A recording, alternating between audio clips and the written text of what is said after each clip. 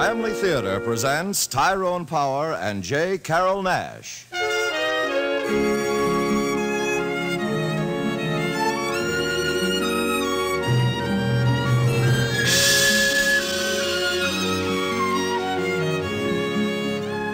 From Hollywood, the Mutual Network, in cooperation with Family Theater, presents The Pox, starring Tyrone Power.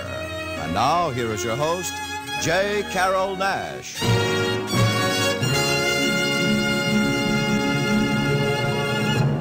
Thank you, Tony La Frano.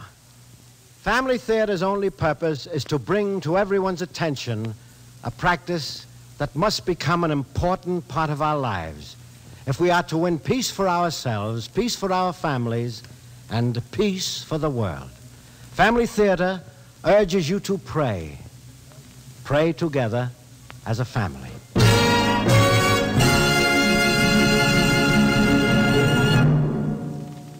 Now to our transcribed drama, The Pox, starring Tyrone Power as Dr. Edward Jenner.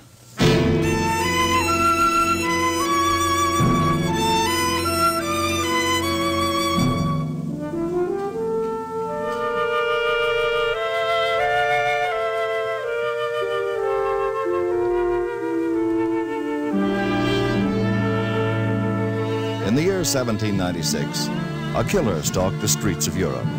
And though his name was well known, he prowled unchallenged through the sewers of Paris, the alleys of Naples, even the rich rolling countryside of Gloucestershire, England.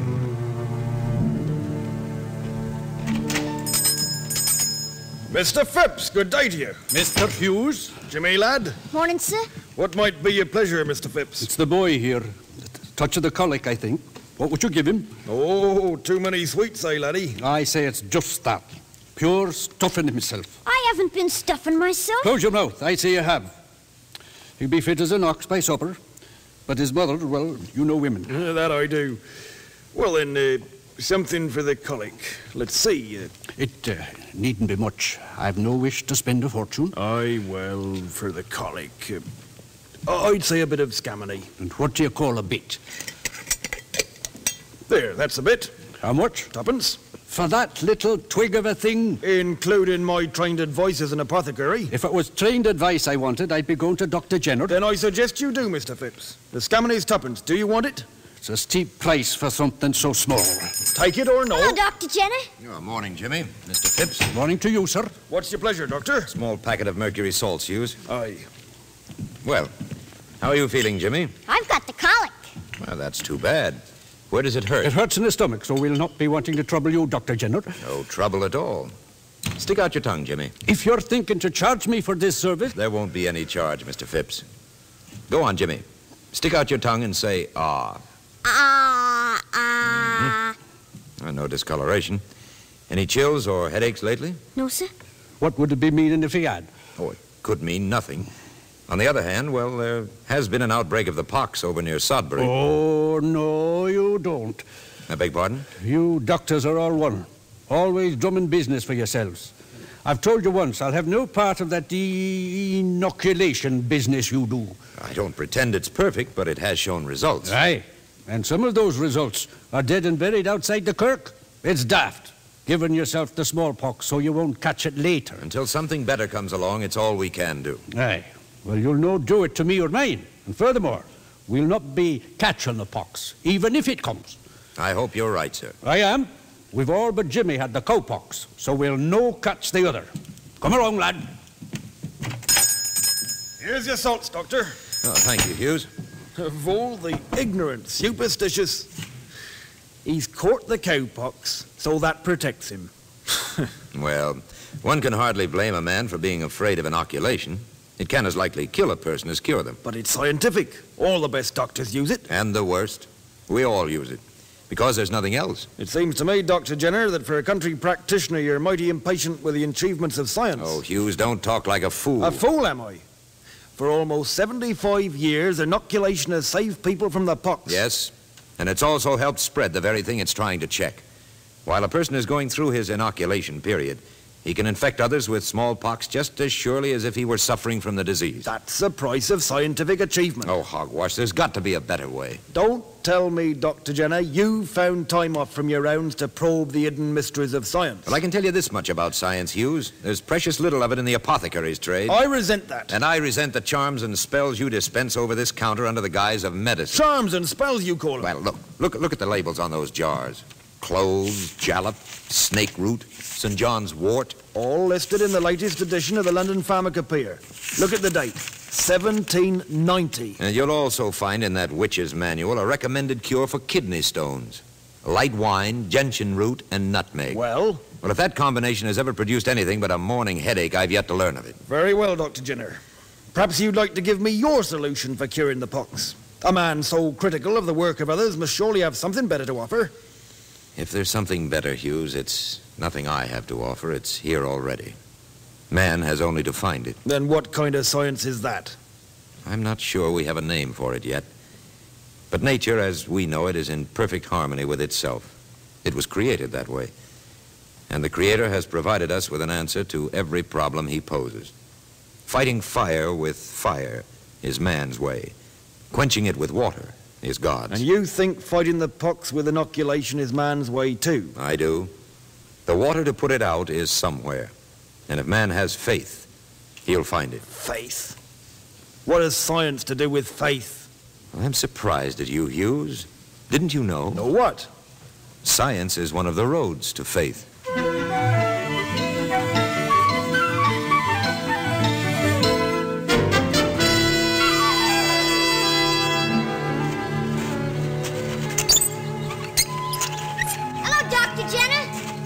Well, Jimmy. How's the colic? Oh, that's been gone a week. It's not me who's sick this time. It's Sarah, our milkmaid. I know. That's why I stopped by. How's she feeling? Mm, all right. Does Father know you've come? Well, I met him in the square this morning and told him I might look in. He doesn't like doctors, does he? Oh, I, I wouldn't go so far as to say that, Jimmy. It would probably be more to the truth to say your father doesn't understand doctors. He says there's no need for them. Well, in a way, he'd be right.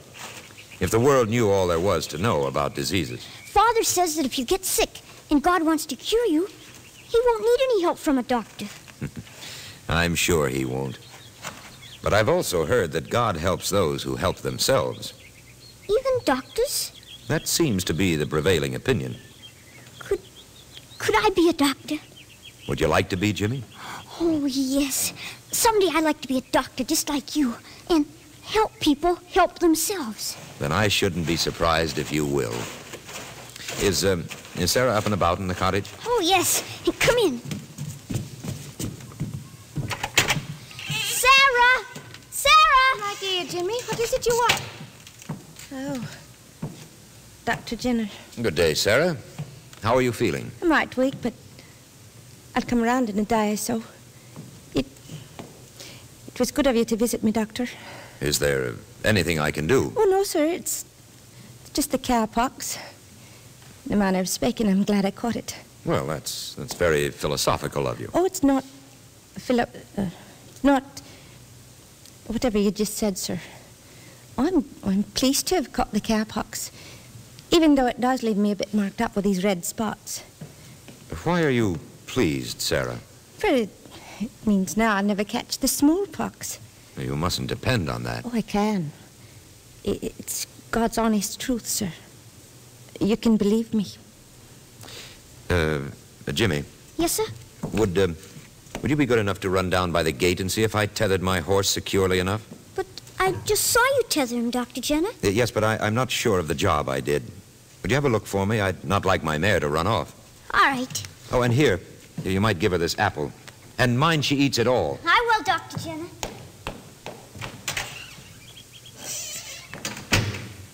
Now, Sarah, Yes, Doctor.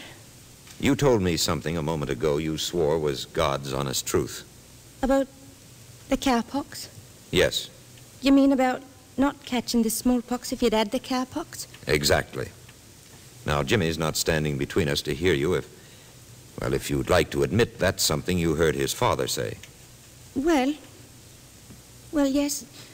I've heard Mr. Phipps say it. Hmm, you're a good girl to tell the But truth. But also my father used to say it, and my brothers, and, well, and anyone who's tended cows. You mean it's a, a general superstition among farm Tis folk? no superstition, Dr. Jenner. Tis true. Them as have had the cowpox will never catch the smallpox. Sarah, I've successfully inoculated dozens of farmers, men whose cattle have been ravaged by cowpox. But had the farmers themselves had it? I should certainly think so. They tended their herds all the while the animals were affected. That needn't mean they caught it, sir. I had an older brother was an herdsman 20 years and never did. But when the smallpox came, he caught that. And in a fortnight he was dead. Hmm. Sarah, did you see this happen with your own eyes? I did not, sir. If I had, I wouldn't be here to tell of it. That was six year ago, and I'd not had the cowpox myself yet. Where was your brother working? Small farm near Tidworth. Him and one of the owner's children were the only ones caught the smallpox of the lot. Hmm. And what about the child? He died. Same as Billy, my brother. He'd not the cowpox neither. It's... It's God's honest truth, sir. God's honest truth. I, I beg pardon, sir. Uh, just, uh, just thinking, Sarah. Well, I, I must be getting along. Thank you for looking in, Doctor. Uh, Sarah, Yes, sir. would you be knowing if Mr. Phipps will be at home this evening? Not before nine or ten, sir. No? He went to the cattle auction this morning. Oh, I see. But you might find him back at the inn about seven, sir.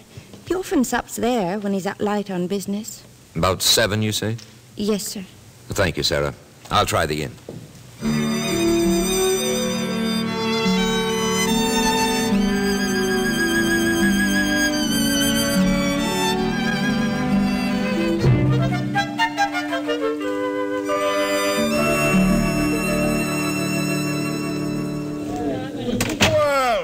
Dr. Jenner, Evening, Hughes. it's not often you honour us with your presence. Would you care to join me in an ale? Uh, Not just now, thank you. Have you seen Phipps about? Phipps? Uh, farmer Phipps, you mean? that I have, the old bear. Here at the inn? At yonder table, stuffing himself with beef and scowling at the world. Oh, yes. Yes, I see. From the look of him, I'd opine that Farmer Phipps ended the day at the short end of a business transaction. Only a financial reverse could twist his face so unbecomingly. Yes, ma'am. Well, thank you, Hughes. Uh, stop back and join me in an ale, Doctor. I'll vow you'll need it after talking of him. Mr. Phipps, Dr. Jenner, may I join you? it's a public inn.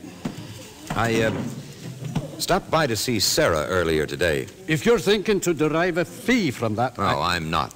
well, if you are, I'd remind you that Sarah Nelms is paid a milkmaid's wage. So if you have any bills, send them to her. There won't be any bill, Mr. Phipps. I wanted to speak with you about now something you said last week when we met in the apothecary's shop. What might that be? You, uh, you told me you'd never catch the smallpox because you'd already had cowpox. Aye, and I've no doubt a worldly physician like yourself feels that's naught but country superstition. Is that what you sat down to tell me? No, no, it is not. In truth, I've begun to wonder if there may not be something in it. Sarah Nelms told me the same thing this afternoon. As could have any milkmaid from Glasgow to Wales. Yes, but Sarah cited a specific case. Her brother? Yes. I could match it with a score. My own father died in the pest house. I brought him food twice a day, but having had the cowpox as a lad, naught harmed me. Has your son Jimmy ever had the cowpox? He has not. Believing as you do, then might it not be a blessing for him if he caught it? I. I don't make your meaning, Doctor. Well, it might protect him forever against smallpox. That it might, but Would you do me a service, Mr. Phipps? that would depend upon the service. My rooms are just a few doors away. Could we go there and talk privately when you've finished your sup? Privately. Concerning what? Your son, Jimmy.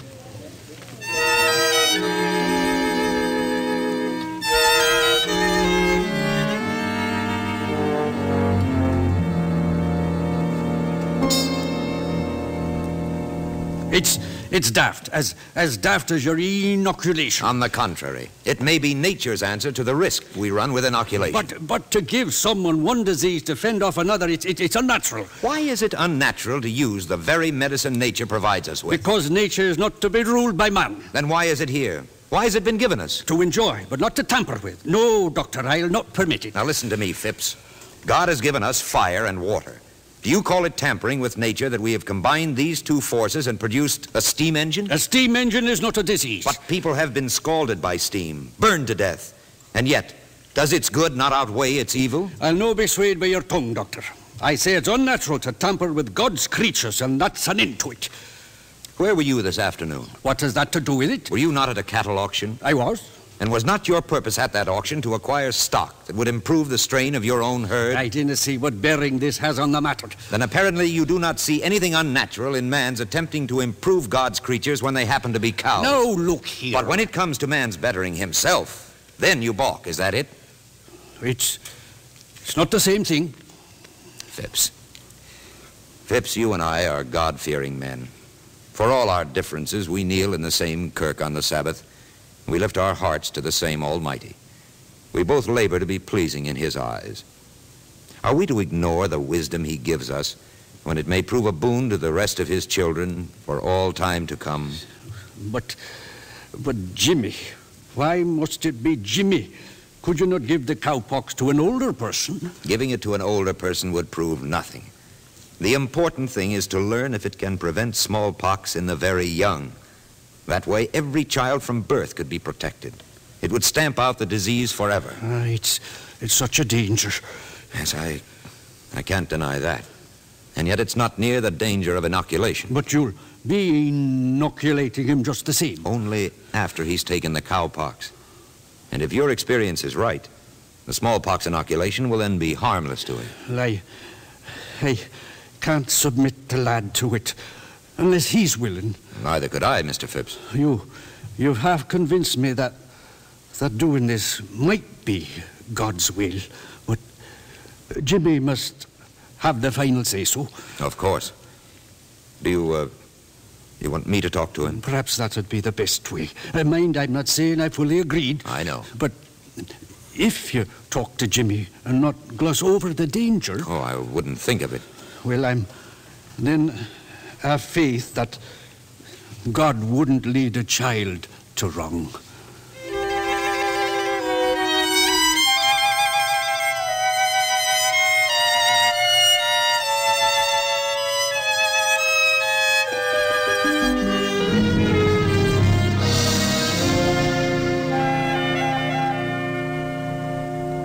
You, um, you're certain you know just what I'm going to do then, Jimmy? Yes, Dr. Jenner. And you, Sarah? You. You're going to give Jimmy a bit of my cowpox? Yes. I'll just scratch one of those little red marks on your arm, and then I'll transfer it to a small scratch on Jimmy's arm. Will, will it hurt the lad, Jenner? I get scratches all the time, Father. Close your mouth. I'll ask the questions. Jimmy's right. It'll hurt no more than a scratch. Will it hurt me, sir? Don't be such a fraidy cat. You're just like Mother. Close your mouth. Why did she go down to pray in the kirk, Father? It's not Sunday. Never mind why she went. Close your mouth and, and do as the doctor tells you. It'll only be a scratch, Sarah. You'll hardly feel it. Well, if. If you say so. Go on, let him scratch you. You open your mouth once more, laddie, and you'll get a birchin. Is it all right, Sarah? I. I guess so. Go ahead. Very well. Now, with the edge of this instrument, I just lift a bit of the matter. Would that hurt? I hardly felt it. What did I tell you? Close your mouth. I take a bit of this matter from one of the red marks on your arm, Sarah, and then I make a scratch so on Jimmy's arm. It felt good. That's a brave lad. And then touch the same instrument to it. So. And there we are. Is. Is that all? That's all. What'd you think he was going to do? Cut off my hand? You are a brave lad, Jimmy. now what do I do, Doctor? Now, Now we wait a week or so. And then what? Then. Then comes a time, Jimmy, when you'll have to be even braver.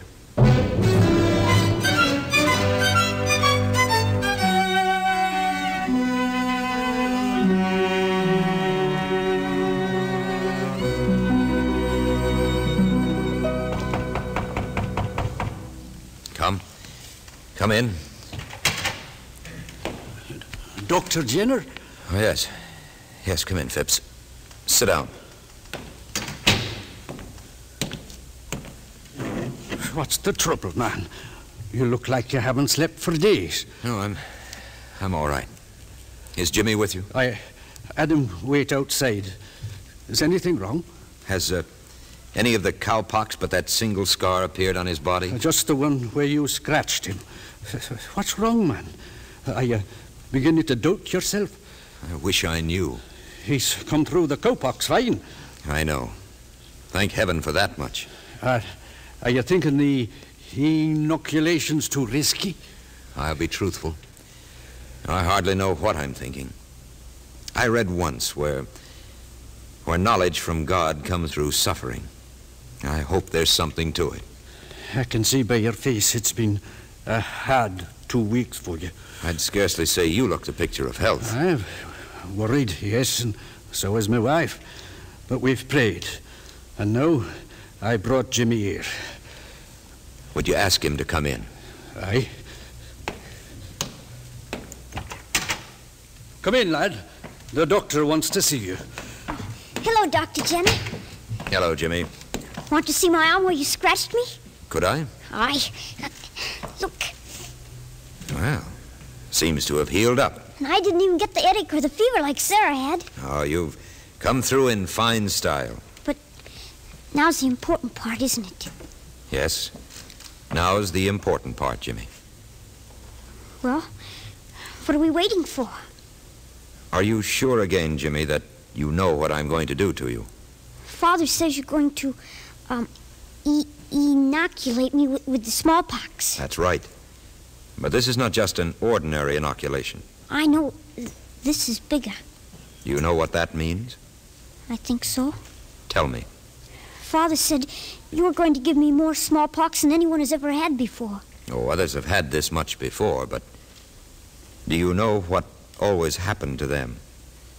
I think so. What? They died. That's right. Anyone who caught as much smallpox as I'm going to give you would die. Yes, but I've had the cowpox. You gave me that, and I didn't even take a fever like Sarah. Jimmy, lad, Yes, Father? you're no obliged to do this if, if you're the faintest doubt. That's right, Jimmy. It it isn't being a fraidy cat if you don't want to. But I've had the cowpox. I, I can't catch the smallpox no matter how much you give me. Can I? We we don't think so, but we're not certain. That's what we're trying to find, Jimmy. That's why we're doing this. I see. Jimmy, Yes, Father? you, you and I just came from the kirk, did we not? Yes? And while we were there, I asked you to pray as I prayed for guidance. Yes? Uh, Did, while you were praying, did God seem to tell you anything? Tell me anything? What I think your father means, Jimmy, is did God let you know if you should do this? Oh, no, he never tells me anything like that. He doesn't. Oh, never. I kneel in the kirk and say my prayers, and then he reminds me I should obey my parents and do what grown-ups say is best. That's all he ever tells me. I see. And both you and Father are grown-ups, and I heard you say this is best. So I know he wants me to do it. Well, Doctor, Jimmy, Yes, sir? roll up your sleeve.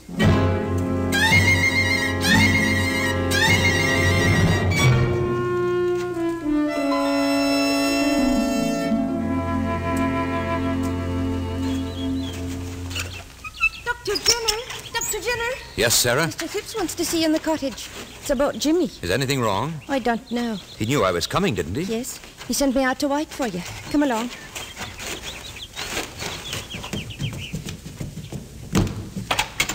Go right in, sir. Dr. Jenner. Yes? Come into the bedroom. There's something I want you to see. You. You, you don't mean. Hello, Dr. Jenner. Jimmy! 18 days, and he's fit as a fiddle. Jimmy, how do you feel? Fit as a fiddle. Oh, thank God. You've done it, Dr. Jenner. That, uh, uh, what was it you called it? Vaccine. Uh, that uh, vaccine with the cowpox. It works. It. It seems to have. Seems to have. it only bears out what I told you at the inn last month. What was that? Nothing any milkmaid from Glasgow to Wales couldn't have told you. Just common sense. Oh, yes. Yes, I remember now. Anyone who's had the cowpox will never catch the smallpox. Yes. And. And you were right, too, Sarah. Me, sir? Yes. It's. It is God's honest truth.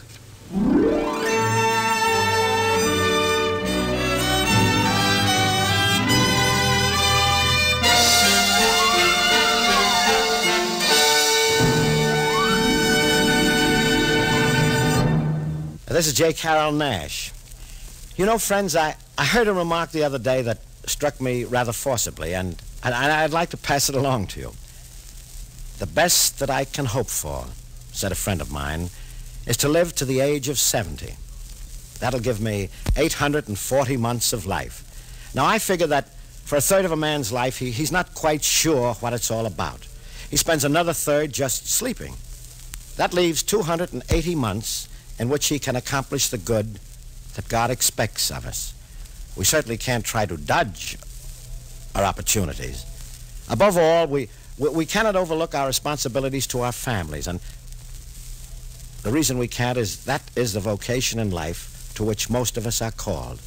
If we wholeheartedly dedicate ourselves to making our homes as happy and as holy as, as God meant them to be, well, well, then we, we'd surely not be wasting the life that has been given to us. And God will help us do this. If we have the vision and the faith to pray to Him daily in the circle of our home. For I can promise you this the family that prays together stays together. More things are wrought by prayer than this world dreams of.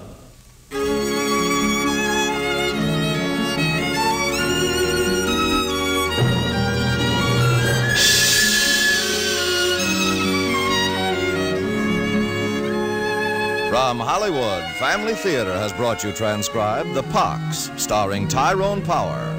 J. Carrol Naish was your host. Others in our cast were Virginia Gregg, Richard Peel, Herb Butterfield, and Richard Beals.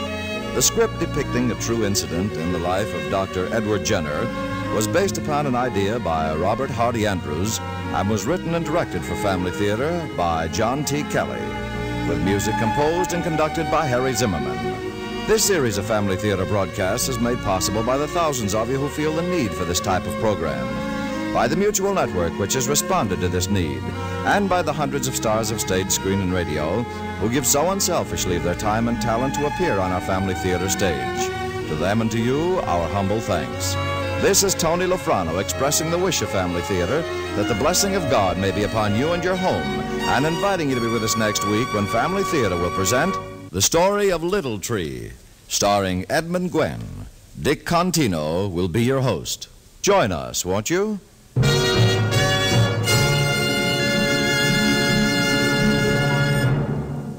Family Theater is broadcast throughout the world and originates in the Hollywood studios of the world's largest network. This is the Mutual Broadcasting System.